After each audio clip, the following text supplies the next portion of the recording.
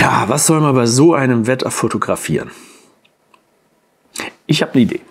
Und zwar fotografieren wir Objekte. Und zwar solche Objekte, die für dich eine interessante Bedeutung haben, die du schön findest, die du spannend findest. Für mich habe ich mal hier so beispielhaft ein paar Sachen rausgesucht. Hier so einen alten Lederbeutel, hier diese Reflektorkamera, leider geht die nicht mehr. Äh, ein altes Messer habe ich noch gefunden. Oder hier diese wirklich tollen Schachfiguren, die ich mal geerbt habe. Im Prinzip geht es darum, dass man so ein Objekt sich nimmt dann überlegt, auf welchem Untergrund, vor welchem Hintergrund, in welchem Lichtsetting man so etwas inszenieren will. Und äh, man kann ein bisschen Lichtsetzung mit üben, gucken, was macht Licht aus verschiedenen Perspektiven, pers verschiedenen Winkeln, verschiedenen Stärken, mit verschiedenen Lichtformern äh, davor. Das kann man alles wunderbar ausprobieren im kleinen Rahmen und man ist dabei auch noch drin und muss nicht rausgehen. In dem Fall eine gute Sache, weil es regnet mal wieder in Deutschland. Ich habe das Ganze nicht mit diesen Objekten getan, sondern ich habe einen Ficus Ginseng-Baum fotografiert, den ich geschenkt bekommen habe. Und habe den hier auf dieser Holzplatte fotografiert von einem schwarzen Hintergrund und danach am Ende auch noch ein bisschen Nebel hinzugefügt. Das Ganze in so einem zweifach Blitz-Setting und ja, wie das Ganze entstanden ist, wie so nach und nach der Aufbau ist, wie man das einstellt an der Kamera. Darum geht es in diesem Video und ich glaube, das kannst du ganz gut nehmen, um dann vielleicht für dich eigene Sachen zu fotografieren, die dich interessieren und wo du sagst, ah, da habe ich eine Verbindung zu oder die finde ich cool, gefallen mir gut. Okay, ohne weitere Worte, wir starten das Video, ich kommentiere das ein bisschen und ihr schaut euch mal an, wie man sowas machen kann.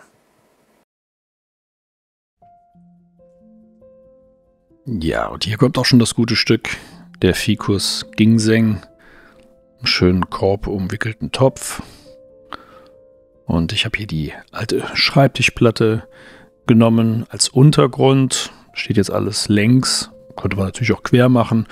Aber da ich das Ganze nachher im Hochformat fotografieren wollte, habe ich mich dann für längs entschieden. Hinten dran kommt jetzt erstmal der schwarze Hintergrund. Ich habe ja hier einen Reflektor benutzt mit der schwarzen Seite, einfach mit einer Klammer auf dem Stativ. Möglichst nah dran. Der Topf steht nicht ganz am Reflektor dran, sondern ein bisschen davon entfernt, so dass ich einerseits vorne ein bisschen Platz habe, wenn ich den Tisch noch mit fotografieren will, auch mit den Linien, die zum Topf zeigen. Und äh, damit zwischen Topf und Hintergrund ein bisschen Platz ist, so dass wenn wir eine offenere Blende benutzen, dass dann der Hintergrund auch in die Unschärfe geraten kann und diese Unstimmigkeiten, die dann noch an dem Reflektor dran sind, dann noch zusätzlich ein bisschen verschwinden. Allerdings werden wir das Ganze nachher sowieso so kurz belichten, dass äh, der Hintergrund dann schwarz ist. So, hier kommt jetzt der erste Blitz. Das ist das Streiflicht. Das wird also dafür genutzt, um entlang des Topfes, entlang des Stamms, entlang der Blätter äh, eine Lichtkante zu erzeugen, auch ein bisschen durch die Krone durchzuscheinen. Ich mache jetzt hier so eine ähm, kleine Blende drauf, damit der Blitz nicht auch den Hintergrund anblitzt, weil der soll ja schwarz sein und wenn da jetzt Blitzlicht drauf fallen würde, wäre das ungeschickt. Und noch so einen kleinen Diffusor drauf. Hat jetzt keinen so riesigen Effekt, aber schaden kann es auch nicht. Zunächst mal den Blitz einfach so hingestellt, wie ich denke, dass es passen könnte. Muss man dann einfach mit dem Testbild mal schauen, ob der richtig steht. Sehen wir gleich. Dasselbe gilt auch für die Einstellung der Blitzstärke. Kann man jetzt einfach mal einen Wert wählen und ausprobieren.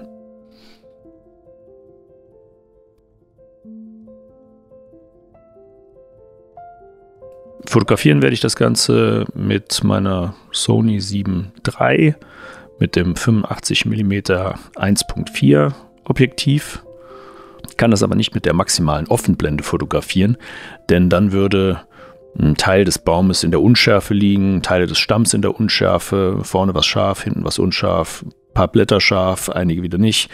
Ähm, deswegen gilt es jetzt erstmal, sobald das Stativ und der Winkel stehen, erstmal daran, die geeignete Blende zu finden, damit der Schärfebereich sozusagen nahezu den ganzen Baum abdeckt, dass Stamm und auch die Blätter weitgehend scharf sind und vielleicht so die letzten Blätter hinten raus und der, das hintere Ende vom Topf unscharf sind.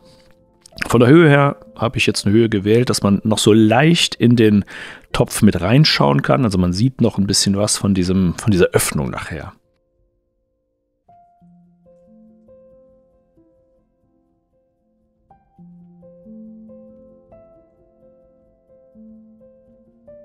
Ich fotografiere das Ganze dann direkt in den Computer rein und äh, ja, was ich jetzt mache, ist das Testbild. Ne, es geht nur um die Schärfe. Es geht noch nicht um, hm, wie dunkel oder hell das sein soll. Es geht nur um die Blendenöffnung. Ich habe jetzt mal hier Blende 5 gewählt, weil ich dachte, das könnte etwa passen auf die Entfernung.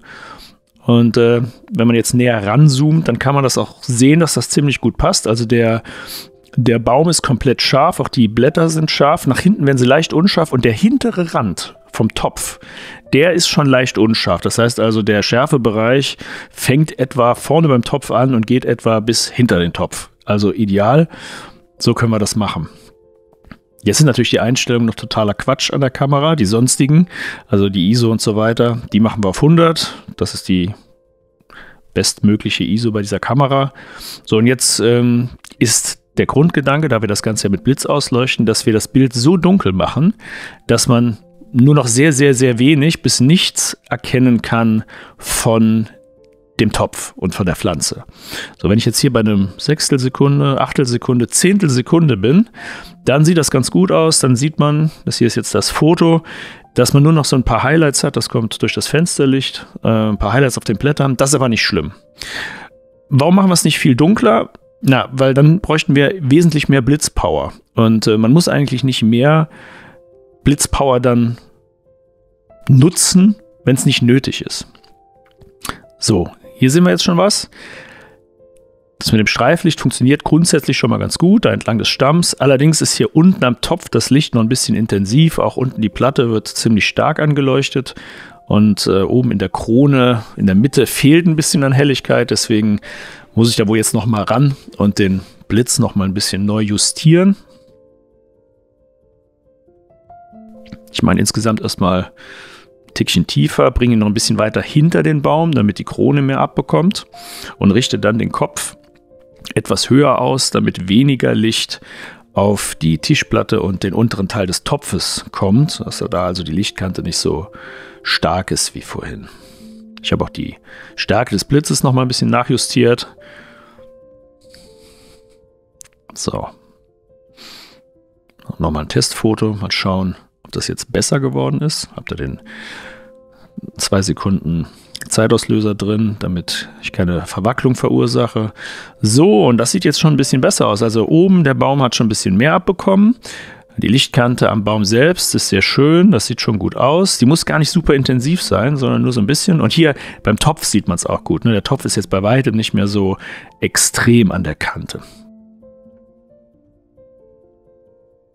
So, jetzt kommt meine sehr sportlich aussehende Softbox als Hauptlicht. Das könntet ihr auch mit einem weiteren Aufsteckblitz machen. Ich habe nur keinen, deswegen habe ich jetzt also einen Studio-Blitz genommen. Und die, ja, dieses Grid, was da drin ist, das sieht ein bisschen sportlich und abenteuerlich aus. Das liegt daran, weil das eigentlich für eine Octa-Box ist, also für eine achteckige Box und nicht für eine viereckige. Aber ich habe dieses viereckige Grid nicht mehr. Das ist mir mal abgefackelt. Fragt nicht warum. Geht aber auch so. Das Ganze dient eigentlich nur dazu, dass das Licht noch etwas mehr gerichtet wird. Und da wir grundsätzlich hier in die Richtung vom Hintergrund blitzen, äh, ist das ganz gut. Dann kommt weniger Licht auf den Hintergrund. Auch hier einfach mal grob eingestellt. Testschuss. Mal schauen, wie es aussieht.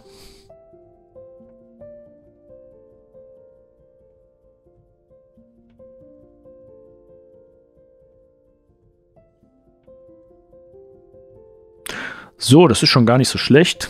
Wir sehen, wir haben schon tolle Struktur im Stamm. Der Schattenwurf äh, ist sehr schön. Wir wollen ja eine Dimensionalität erzeugen, also das soll ja dreidimensional aussehen, deswegen brauchen wir Schatten. Ja, Topf ist nur ein bisschen hell. Aber oben, im oberen Teil des Baumes vorne, ist noch ein bisschen wenig, ein bisschen wenig Licht. Deswegen werden wir jetzt nochmal einiges an Blitzleistung dazu nehmen. Ich habe den Blitz auch nochmal leicht nach oben gekippt.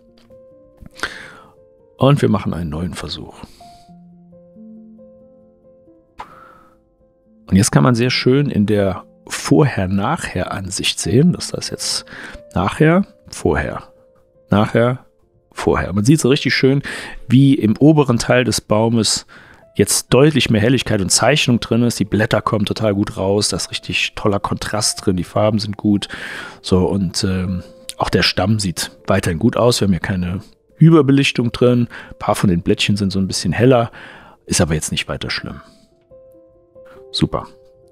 Fehlt eigentlich nur noch ein bisschen Effekt und dann äh, sind wir schon ziemlich nah an unserem an unserer Grundidee dran. Das ist meine kleine Nebelmaschine. Nebelfluid ist Gott sei Dank auch noch drin. Das war gut, weil ich hätte auch keins mehr gehabt. Muss man das jetzt benutzen. Das ist eine kleine Maschine, die heizt sich innerhalb von ein paar Minuten vor. Fünf Minuten oder so ist die aufgewärmt. Und dann kann die immer stoßweise ein bisschen Nebel aussondern. Also für so einen Effekt hier, für so einen äh, Tischzusammenhang reicht das völlig aus. Kann man das ein bisschen justieren. Mal gucken, wohin man da äh, mit dem Nebel geht. So meiner Zeitlupe hinten auf den Hintergrund, dass man auch da so Dimensionalität erzeugt und dann möglichst viele Bilder machen, dass sich der Nebel halt die ganze Zeit bewegt und man eine schöne Auswahl an äh, Fotos haben will. Deswegen dann ruhig äh, Dauerfeuer drauf, alles fest einstellen und loslegen.